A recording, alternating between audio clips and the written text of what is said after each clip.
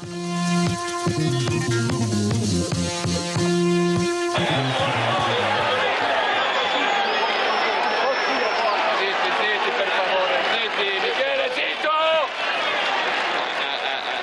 Tutti zitti, dice ZB, per evitare che dopo la beffa del campo arrivino anche altri danni dal giudice sportivo.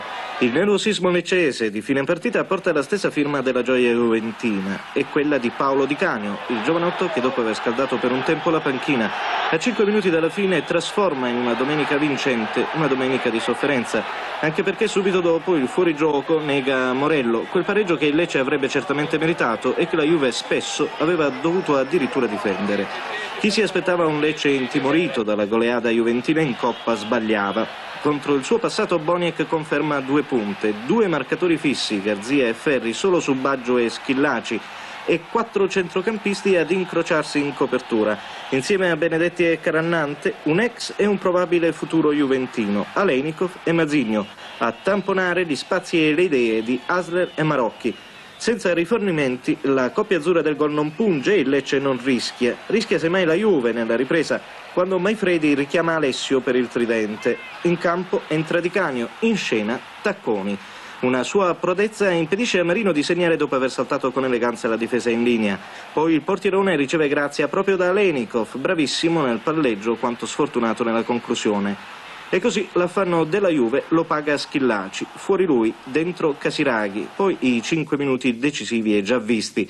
Ma per Totò questa sostituzione che significa? Non significa assolutamente niente perché il Misi ha deciso di far entrare Casiraghi, c'era bisogno di un uomo di statura molto alta e quindi, e, e quindi vi sta bene, eh, non c'è sta nessuna polemica assolutamente, siamo in 20 e giochiamo in 20.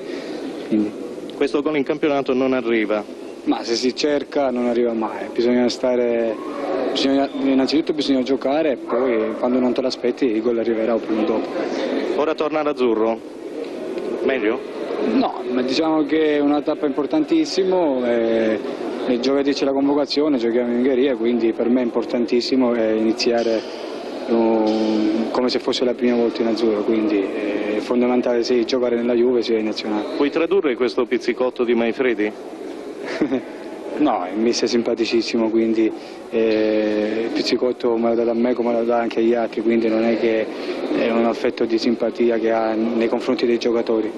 Ma non c'è niente da dire, abbiamo fatto due gol, tutti e due annullati, non so se era fuori gioco o non fuori gioco, però abbiamo preso un gol regolare, mi sembra sarebbe strano adesso parlare dell'arbitraggio, l'arbitro ha fatto sua parte accettiamo il verdetto che ci ha proposto questa partita con molta amarezza e basta. Si è appena incontrato con Maifredi, cosa vi siete detti? Ma sai, in queste occasioni lui che ha fatto da padrone ha detto bravo comunque, sai, ma cose che accettiamo però comunque non hanno nessuna importanza.